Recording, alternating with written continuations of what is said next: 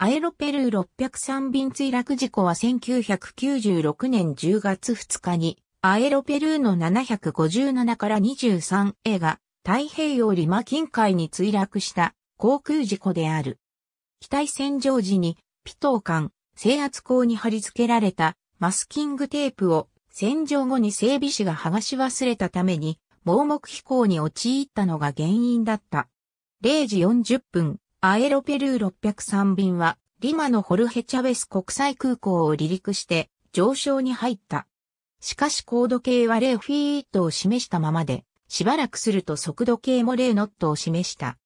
0時43分、しばらくして高度計、速度計が作動し出すが、3つの計器がそれぞれ違う数値を表示したため、自動操縦に切り替えることもできなかった。さらに速度計、高度計に続いて、機体の姿勢に対する警報が発せられた。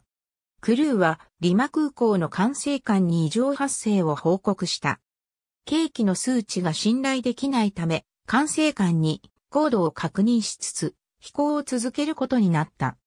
絶えず速度超過警報が鳴っていたので副操縦士は、スピードブレーキで減速しようとした。しかし、スピードブレーキを使用しているにもかかわらず速度超過警報は作動し続けたためさらに減速させた。0時57分には速度超過警報、失速警報が同時に作動したため603便は加速に切り替えた。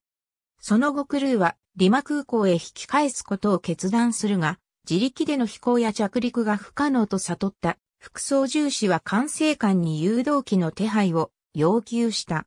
1時3分、高度計が高度3000メートルを示している時に、対地接近警報装置が作動した。603便は管制官に高度を尋ねたが、3000メートルとの返答を受けて、警報を故障とみなした。しかし実際には、高度は徐々に下がり続けており、この時点で、機体高度はすでに300メートルを下回っていた。603便は超低空を飛行していることに気づかないまま ALS の電波を頼りに空港に向かい始めた。1時8分、603便は管制官から救援機が間もなく到着する旨の報告を受けた。この際、高度、速度に関して管制官に確認をしたが、やはり計器の数値と一致せず、対処法を尋ねていた時に、左主翼が海面に接触した。603便は再上昇を試みたが、17秒間飛行した後に、左翼が水面に突っ込むようにして当たり、機体は反転しながら墜落した。乗員乗客70名は全員死亡した。事故の翌朝、ペルー海軍などによって海面に浮いていた乗客の手荷物などが回収されたが、これといった証拠はなかった。機体の大半が海中に沈んでいたため、ペルー海軍の要請を受けたアメリカ海軍のローフを使用してブラックボックスなどを引き上げた。603便の機体はリマを出発する前に洗浄されていた。その際に整備士は防水のためにピトー管の制圧口をマスキングテープで覆ったが、洗浄後に剥がさなかった。離陸前点検でも地上クルーやパイロットが剥がし忘れに気づくことはなく、そのまま離陸したために高度計や速度計に誤った値が表示されることになった。夜間に海上を飛行していたため目視による高度確認も難しく、景気表示の混乱からパイロットは機体状況を把握することが不可能となった。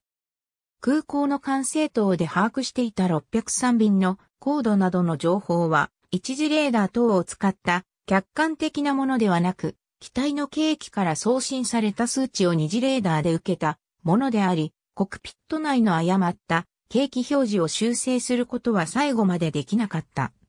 また、パイロットは矛盾する警告に気を取られ、2500フィートに降下した後は、電波高度計を用いて事態が打開できることに気づかなかった。アエロペルーはペルーのフラッグキャリアであったが、この事故が痛手となり、経営状況が悪化、3年後の1999年に経営破綻し、運行を停止した。ありがとうございます。